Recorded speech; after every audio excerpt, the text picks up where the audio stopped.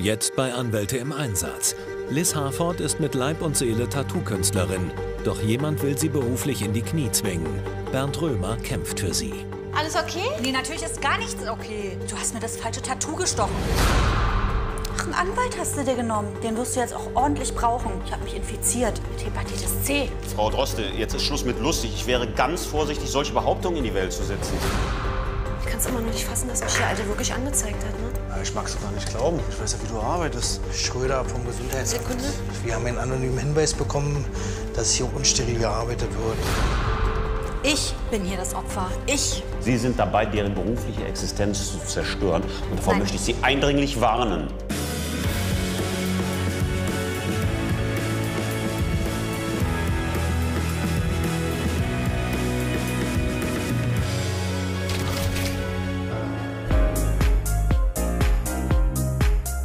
Liz Harford ist seit ihrer frühesten Kindheit fasziniert von Tattoos. Die 35-Jährige besitzt zudem ein ausgesprochenes Zeichentalent. Ihre Berufswahl lag damit nahe. Tattoo-Künstlerin. Vor zehn Jahren hat sich die Berlinerin dann ihren Traum erfüllt und ihr eigenes Studio eröffnet. Bislang hat Liz gut davon leben können. Doch auf einmal steht ihre Existenz auf dem Spiel. Wir haben schon geschlossen. Ah, hi, du. Warst doch vorhin schon hier. Ja. Alles okay? Nee, natürlich ist gar nichts okay. Wie, ist gar nichts okay? Ey, du hast mir das falsche Tattoo gestochen. falsches Tattoo? Ja, hier, guck dir das doch mal an. Was soll denn das? Das hast du mir doch vorgelegt. Ich, hab, ich hab's genauso gestochen, wie du mir gezeigt hast. Nein, Das hier. Das ist das, was ich haben wollte. Ein Herz mit Ornamente und nicht so ein Clown. Ein Herz mit Ornamenten. Das sehe ich heute zum ersten Mal. Ich weiß doch selber, was ich auf meinen Körper haben möchte. Bestimmt nicht so eine Scheiße. Weißt du was? Ich werde dich verklagen wegen Körperverletzung. So, tschüss. Äh? Hallo? Ich weiß nicht, sind hier versteckte Kameras oder? Ich verstehe die Welt nicht mehr. Was war mit ihr bitte nicht in Ordnung? Ich habe ihr genau das tätowiert, was sie haben wollte. Und dieses Herz habe ich noch nie gesehen. Ich hoffe nur, das handelt sich um einen schlechten Scherz, weil sowas finde ich überhaupt nicht lustig. Die Drohung von Liz Kundin ist kein böser Scherz. Nicola Droste hat tatsächlich Strafanzeige wegen Körperverletzung gegen die Tätowiererin erstattet. Als die Polizei sie am nächsten Tag darüber informiert, wendet sich Liz deshalb sofort an Rechtsanwalt Bernd Römer. Die Geschichte ist eigentlich die, dass Sie einer Kundin ein ganz anderes Motiv gestochen haben sollen, als das vorher vereinbart war. Aber das stimmt überhaupt nicht. Das ist absoluter Bullshit. Ich würde niemals einer Kundin oder einem Kunden irgendein Motiv stechen, was, was da nicht hingehört. Niemals. Sie haben also explizit noch mal bei ihr nachgefragt. Ja, dass- ja, natürlich. Ich habe gesagt, äh, möchtest du dieses Motiv wirklich haben? Das ist eine Clownsfratze, die passt überhaupt nicht zu ihr. Und deswegen habe ich wirklich nochmal nachgefragt, soll es dieses Tattoo sein? Sie hat gesagt ja und ich habe natürlich äh, ihr das gestochen, weil der Kunde ist König. Kann ja nicht sagen, nee, mache ich nicht. Ja, aber jetzt kommt die Frau Droste, wie Sie mir gesagt haben. Und die Frau Droste sagt, das war alles ganz anders. Ich weiß nicht, was mit ihr nicht in Ordnung ist, aber sie hat ein Herz aus der Hose rausgeholt, ja? Das hätte sie wohl haben wollen. Und äh, ich habe ihr was völlig Falsches gestochen. Ich habe dieses Herz in meinem ganzen Leben noch nie gesehen. Von dem Herz war nie die Rede. Gut, dann wir ein Missverständnis wirklich mal ausschließen. Schlichtes Missverständnis zwischen einer Clownsfratze und einem kleinen Herzchen liegen ja nun wirklich Welten. Äh, Es ist gut, dass Sie hier sind. Die Strafanzeige müssen Sie auf jeden Fall ernst nehmen. Das hat ja möglicherweise auch Konsequenzen für Ihre Gewerbeerlaubnis, also für Ihre Existenz. Dann? Totale Katastrophe. Ich meine, es geht auch um meine Berufsehre. Ne? Ich bin seit zehn Jahren in diesem Job und äh, ist es wirklich eine Körperverletzung von wegen falsches Motiv? Also wenn, wenn es jetzt falsch wäre, ist es ist doch keine Körperverletzung, oder? Also jede Tätowierung ist eine Körperverletzung, genauso wie ein ärztlicher Eingriff auch immer eine Körperverletzung ist. Aber das Ganze ist dann nicht strafbar, wenn eine Einwilligung vorliegt. Und da stellt sich natürlich die Frage, wenn da ein ganz anderes Motiv gewählt wird, das zum Beispiel auch noch größer ist. Das heißt, da wird ja mehr Hautoberfläche äh, irreversibel, ich sag mal, verschönert. Ja, liegt ja im Auge des Betrachters. Auf jeden Fall sind die Schmerzen auch größer. Das ist dann möglicherweise nicht mehr durch eine Einwilligung gedeckt. Das wäre eine Körperverletzung, vielleicht sogar eine gefährliche Körperverletzung. Das ist un unglaublich, weil es ist nie passiert, was sie schildert und was, was soll ich denn jetzt machen? Das geht nicht. Gut, wenn sie das so gesagt hat, dann ist das eine Einwilligung, dann ist es natürlich keine Körperverletzung. Das müssten wir idealerweise beweisen. Gibt es da irgendwie Zeugen? Waren da andere Kunden im Geschäft? Nee, Kunden waren nicht im Laden, aber ähm, meine äh, Auszubildende Caro, die war anfangs jedenfalls mit dabei. Die hat aber früher Feierabend gemacht. Aber die könnten wir direkt befragen. Die ist nämlich jetzt im Laden und hält die Stellung für mich. Wir können sofort von mir aus gerne äh, rüber und äh, mit Caro Wir quatschen. sollten das tun, unabhängig davon, Ja, bitte. Am wie lange liebsten- sie da war. Ja. Vielleicht hat sie ja doch was mitbekommen. Würde ich sagen, lassen Sie uns einfach mal gehen. Ich glaube ehrlich gesagt, dass sich diese doch sehr eigenartigen Vorwürfe gegen meine Mandantin sehr schnell in Luft auflösen werden. Wenn wir eine Zeugin finden, die die Version von ihr bestätigt, geht es umso schneller. Selbst wenn das nicht der Fall sein sollte, gehe ich davon aus, dass diese Anschuldigungen von der Frau Droste nicht haltbar sein werden. Liz Tattoo Studio ist nur 10 Gehminuten von Bernd Römers Kanzlei entfernt. Die 35-jährige Studiobesitzerin kann es nicht erwarten, ihre Auszubildende zu befragen. Denn Caro Fischer ist die einzige Zeugin. Liz hofft inständig, dass die 22-jährige für sie aussagen kann. Mensch, ich habe versucht, dich anzurufen. Was? Ja, sorry, ey. Äh, ja, ich habe einen wichtigen Termin gehabt und Schönen guten äh, Tag. habe gleich mal meinen Anwalt mitgenommen. Caro. Hallo, freut mich. Was heißt Anwalt? Hast du Schwierigkeiten? Was ist passiert? Ja, wir hoffen ehrlich gesagt, dass sie keine Schwierigkeiten hat, aber das äh, kriegen wir jetzt vielleicht ein bisschen raus, wenn wir uns mit Ihnen unterhalten haben. Pass auf, ähm, gestern war dann ein Kunde bei mir im Laden, ne? Du warst auch noch da. Das war kurz bevor du abgehauen bist. Hast du irgendwas von der mitgekriegt, gehört oder sonst irgendwas? Das Ding ist, ich habe Feierabend gehabt und da kam die Kunde noch mal rum. Und äh, sie meinte, sie hätte gerne äh, doch ein Herz gehabt mit Ornamenten anstatt eine Clownsfratze, die ich ihr tätowiert habe. Und ich brauche jetzt Hilfe und Zeugen. Und deswegen kannst du irgendwas darüber sagen? Ach du Scheiße. Ach du Scheiße, ist das so ein ganz allgemeiner Kommentar oder was haben Sie da genau mitbekommen? Könnten Sie mir das noch mal erklären, bitte? Ja, ich habe was mitbekommen. Und zwar, ich habe mich kurz mit der Kundin unterhalten und die hat zu mir gesagt, sie möchte sich gerne ein Herz tätowieren lassen und keine Clowns. Wie bitte? Ich bin noch nicht auf der Wurstpelle hergeschwommen. Okay. Weißt du? Jetzt, jetzt machen wir mal ganz ruhig. Alles klar, alles klar. Ey, das Kommen kann Sie- nicht sein, Kommen Sie mal mit. Na, ich kann auch nur sagen, was ich weiß. Alles gut, alles gut. Vielen Dank. Vielen Dank für die Info. Hören Sie mal zu. Jetzt hören Sie mal zu. Beruhigen Sie sich mal. Ihre Angestellte hat nicht mitbekommen, dass Sie mit Frau Droste gesprochen haben und was Sie da besprochen haben. Die hat auch nicht mitbekommen, als Sie dann die Tätowierung durchgeführt haben. Da war die ja nicht mehr dabei. Die, ihre Angestellte hat nur mitbekommen, was die Frau Droste ihr erzählt hat. Sonst nichts. Ja, so habe ich es auch noch nicht gesehen, ja. Aber Das hat sie uns jetzt so wiedergegeben. Wie ist denn Ihr Verhältnis zu ihr im Allgemeinen? das ist alles in Ordnung. Also äh, ihr Ausbildungsvertrag läuft langsam aus und ich weiß halt nicht, ob ich sie übernehmen kann, aber sonst ist gar nichts. Gut, da gibt es jetzt auch überhaupt keinen Grund, da irgendwas dran zu Nein. ändern. Keine personellen Nein. Konsequenzen. Würde ja alles gar keinen Sinn machen. Ähm, wissen Sie, es kann gut sein, dass die Caro von der Frau Droste auch getäuscht worden ist. Ganz bewusst. So, also das müssen wir rauskriegen. Wir müssen rauskriegen, was mit der Frau Droste los ist. Das ist das ganz große Rätsel. Ich kümmere mich darum. Sie machen sich nicht allzu viele Sorgen um die Anzeige, denn es steht Aussage gegen Aussage. Also die steht auf sehr wackeligen Füßen. Okay? Also fahren Sie erst mal runter. Ich melde mich, sobald ich was weiß. Alles klar. Tschüss. Danke, tschüss. Natürlich kann ich Caro eigentlich nicht übel nehmen, was, was die Droste ihr erzählt hat. Ne? Aber äh, es macht mich schon wütend, vor allem weil es meine ganze Existenz gefährdet. Und das geht gar nicht. So viel Pech Liz im Beruf hat, so viel Glück hat sie in der Liebe. Seit zwei Monaten ist Liz Harford frisch verliebt und schon kurz darauf bei ihrem neuen Freund Timo Brenner eingezogen. Der 39-jährige Werbetexter kennt Liz Problem mit dem vermeintlich falschen Tattoo bereits und macht sich große Sorgen. Siehst du gar nicht gut aus? Nee, mir geht's auch nicht gut. Ich kann es immer noch nicht fassen, dass mich der Alte wirklich angezeigt hat. Ne? Ja, ich mag es gar nicht glauben. Ich meine, ich weiß ja, wie du arbeitest. Ja, deswegen. So gründlich und sorgfältig, warum sollte dir so ein krasser Fehler unterlaufen? Ja, eben. Aber weißt du, wenn Caro, der sogar schon auf den Leim geht, Ach, Caro. Die Alte hat das Caro so erzählt. Und das vorher. Wichtig ist, dass dein Anwalt dir glaubt. Was es auch immer für eine Tussi ist. Die will dir aus irgendeinem Grund ans Bein pinkeln. Aber glaub mir, mit so einer schrägen Nummer kommt die nie und nimmer durch. ja, Mann, ey, ich bin froh, dass ich dich hab. Und das bleibt doch so. Das ist eine Bekloppte, die einfach nur rumspinnt. Das hat sich bald erledigt. Ja, aber weißt du, da ist ja dann noch die Konkurrenz am Kiez und die macht mir auch ein bisschen Sorgen. Weißt du, meine Kunden werden auch weniger und wenn so ein Gerücht die Runde macht, dann bleibt sowas hängen wie Kacke am Schuh. Ja, das muss es ja nicht unbedingt. Was auch immer diese Tussi vorhat. Wir müssen darauf achten, dass sich die Lügen nicht rumsprechen. Aber jetzt entspann erst mal ein bisschen relaxer und trink ein Weinchen, dann sieht die Welt schon ganz anders aus. Ich werde mir auf jeden Fall ein Bad erstmal einlassen. Ne? Das ist eine Spitzenidee. Ich weiß halt besser als jeder andere, dass sich äh, die Alte diesen Mist nur ausgedacht hat. Und Gott sei Dank habe ich Timo, der mich unterstützt und mich ein bisschen aufbaut. Aber ich mache mir schon Sorgen um den Laden, weil das ist mein Baby, mein Ein und Alles. Und das darf mir keiner kaputt machen. I'm addicted to you,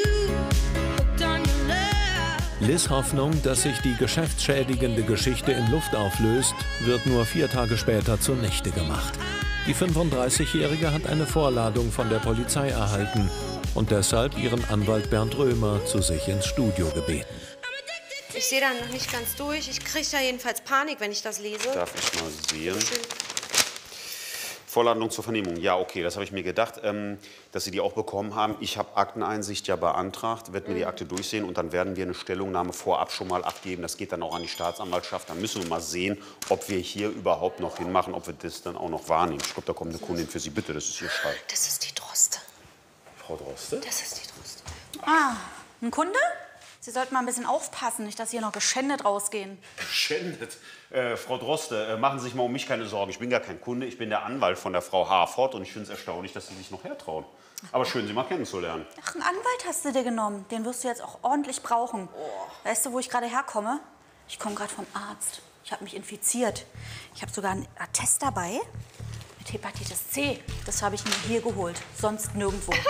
Ich glaube, du hast ein bisschen zu nah an der Hauswand geschaukelt oder Also so. ich, äh, Frau, äh, Frau Droste, jetzt ist Schluss mit lustig. Ich wäre ganz vorsichtig, solche Behauptungen in die Welt zu setzen.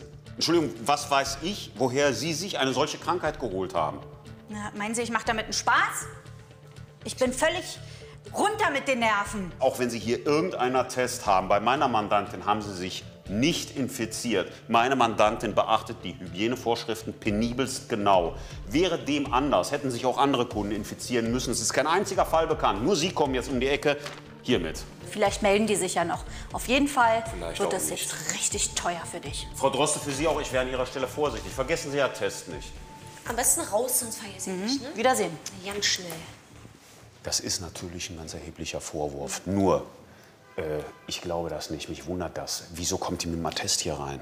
Verstehen Sie das? Und beweisen tut das Attest im Endeffekt überhaupt nichts. Nee. Das beweist, hat mit Ihnen gar keinen Zusammenhang. Nee. Trotzdem werde ich mich da mal hinterhängen. Ja, irgendwas, irgendwas stimmt da nicht. Es wird immer schlimmer, was die Frau Droste jetzt an Behauptungen in die Welt setzt. Und die Behauptung, sie hätte sich hier mit Hepatitis C infiziert, äh, würde den Schuldvorwurf meiner Mandantin gegenüber ganz erheblich erhöhen. Irgendwas stimmt aber mit der Sache nicht. Wer lässt sich denn direkt nach so einer Diagnose ein Attest ausstellen, um dann hier hinzukommen und meiner Mandantin das unter die Nase zu halten? Also, ich bin da sehr skeptisch. Trotz der angeblichen Hepatitis-Infektion hält Liz in ihrem Laden tapfer die Stellung.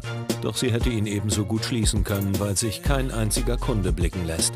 Das Gerücht, die Tätowiererin arbeite unsauber, macht inzwischen die große Runde. Hallo? Hallo, Tag, Schröder vom Gesundheitsamt. Wir haben einen anonymen Hinweis bekommen, dass hier unsteril gearbeitet wird. Anonym? Kann ja nur Frau Droste gewesen sein, oder? Ich kann mich dazu nicht äußern. ist ja unfassbar, ey. Könnte ich mich hier bitte mal ein bisschen umsehen? Ja, bitteschön. Äh, kommen Sie kurz alleine klar? Ich komme gleich nach, ja? Schon mal. Ja? Okay. Angesichts der anonymen Anzeige beim Gesundheitsamt bittet Liz ihren Anwalt um schnelle Unterstützung. Denn der Inspekteur vom Gesundheitsamt ist befugt, ihr Studio gegebenenfalls sofort zu schließen, sofern er bei seiner akribischen Suche etwas findet. Bernd Römer ist zur großen Erleichterung von Liz nur ein paar Minuten später zur Stelle. Grüß Sie, schönen guten Tag. Ein Tagchen. Lassen Sie, lassen Sie. Hätten Sie sich wegen mir keine Handschuhe anziehen müssen. Hallo. Hallo, Entschuldigung. Was gibt's denn? Hallo. Ja, der, das ist mein Anwalt. Römer, der Herr guten Tag. Römer. Ich bin Und, ja äh, Schröder vom Gesundheitsamt. Freut mich. Oh, ein Anwalt. Haben Sie gleich einen Anwalt dazugezogen, aber ja, na, ich denke mal, die anonyme Person, wie gesagt, kann ja nur Frau Droste sein. Und es. Äh, Also keine Routinekontrolle hier, sondern Sie sind auf eine ich bin Anzeige hier wegen erschienen, einen ja? anonymen Hinweis hier gekommen, ja. Und ich muss sagen, also ich bin jetzt auch schon durch. Und ich, Sie kriegen noch einen schriftlichen Bericht zugeschickt. Ja. Aber ich kann Ihnen vorneweg schon mal sagen, also sieht eigentlich sehr sauber, sehr gut aus. Ich habe jetzt nichts zu beanstanden. Sehr gut, dann sind wir froh. Aber das ist doch wunderbar. Wenn man nichts gefunden hat, das bekommen Sie ja noch schwarz auf weiß. Und den Bescheid vom Gesundheitsamt, den blasen Sie so groß auf und den hängen Sie dann ins Schaufenster, dass den jeder sieht, wenn er nur vorbeiläuft. So die beste Werbung für Sie. Sag ich Ihnen. Also ich werde mich verabschieden, weil ich habe noch viel zu tun. Wiedersehen. Tschüss. Wiedersehen. Ja, schönen Tag noch, ja? Ja, Ihnen auch. Ey, Herr Römer, ganz ehrlich, irgendwie steht's mir bis hier. Ja, das verstehe ich. Das verstehe ich, auch wenn das jetzt gut gelaufen ist, so geht es nicht weiter. Also wir müssen wirklich dieser Frau Droste Einhalt gebieten und das werde ich jetzt auch mal juristisch angehen. Was die Frau macht, ist ja nicht mehr vertretbar, das ist eine üble Nachrede. Das ist sogar eine Verleumdung, wenn die das bewusst falsche Gerüchte in die Welt setzt und genau das macht sie. So, dagegen gehen wir vor. Die kriegt jetzt als erstes von mir eine strafbewährte Unterlassungserklärung und ich würde ihr raten, dass sie die sofort unterschreibt und mir zurückschickt. Sonst kriegt die nämlich richtig Ärger. Darum kümmere ich mich jetzt. Also hier ist ja alles gut gelaufen. So wunderbar. Ich bedanke mich, dass Sie noch mal so schnell hergekommen Ja, hat sich gerade gut ergeben. Ich muss Ja, auch direkt ich- weiter. ja, also Kopf hoch, klar. wird schon. Ich finde alleine raus, ja? Tu ich. Um Frau Droste kümmere ich mich. Tschüss. Alles klar. Tschüss, Herr Römer.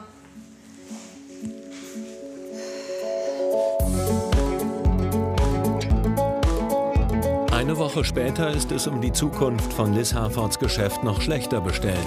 Die Kunden bleiben weiterhin aus und nun muss Liz auch noch schweren Herzens ihre einzige Angestellte ziehen lassen. Denn Caro Fischers Ausbildungsvertrag läuft aus und Liz hat kein Geld, um sie zu halten. Ich bin fertig mit Packen.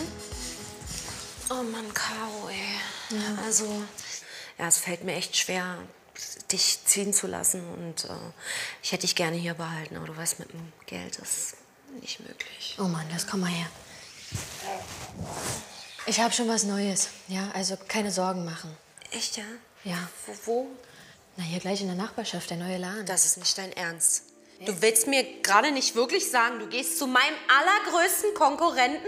Was soll ich denn machen? Ich muss auch zusehen, wie ich mit dem Arsch an die Wand komme. Ich muss zusehen, dass ich einen Kühlschrank voll kriege. Soll ich zum Arbeitsamt rennen, mich arbeitslos melden? Bitte dich, der zieht mir alle Kunden aus dem Laden. Siehst du hier irgendjemanden? Hättest du es anders gemacht? Es tut mir leid. Liz, ich wünsche dir was. Mach's gut.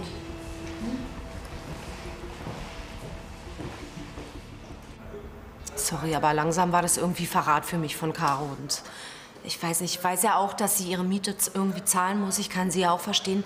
Aber doch bitte nicht zur unmittelbaren Konkurrenz. Und langsam glaube ich sowieso, die haben irgendwie was damit zu tun, dass mein Laden hier komplett den Bach runtergeht.